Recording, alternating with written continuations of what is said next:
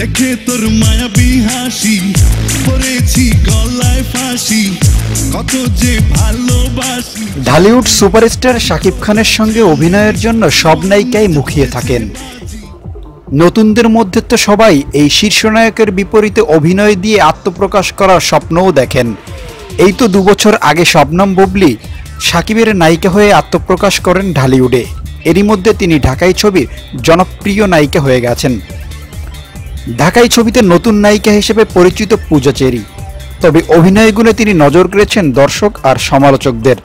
তাই পূজাকে ঘিরে সবার মনেই দারুণ প্রত্যাশা। এই পূজারও ইচ্ছা শাকিব খানের সঙ্গে অভিনয় করার। অকপটেই জানালেন তিনি তার এই মনের কথা। পূজা বলেন সাকিব ভাইয়া আমাদের ইন্ডাস্ট্রির অনেক বড় ও গুণী একজন অভিনেতা। তার সঙ্গে অবশ্যই আমার কাজ করার ইচ্ছা আছে। কারণ তিনি এত বছর ধরে আমাদের ইন্ডাস্ট্রিকে একাই এগিয়ে নিয়ে যাচ্ছেন তার দ্বারাই এত ভালো কাজ করা সম্ভব হয়েছে।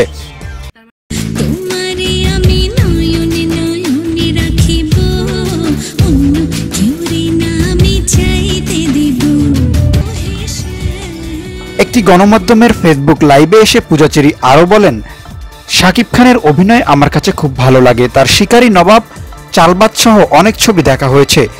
যদি পরিচালক, প্রযোজক তার বিপরীতে আমাকে কাজের সুযোগ দেন, আমি অবশ্যই কাজ করব। শিশু শিল্পী হিসেবে চলচ্চিত্র জগতে আসেন পূজাচেরি বর্তমানে তিনি নায়িকা চরিত্রে অভিনয় করছেন। এরই মধ্যে তার অভিনীত দুটি ছবি মুক্তি পেয়েছে। নূরজাহান ও পোরামন টু ছবি দুটি দারুণভাবে আলোচিত হয়েছে। বিশেষ করে পূজার অভিনয় ব্যাপক প্রশংসিত হয়েছে। মুক্তির অপেক্ষায় রয়েছে তার আরও একটি ছবি, দহন।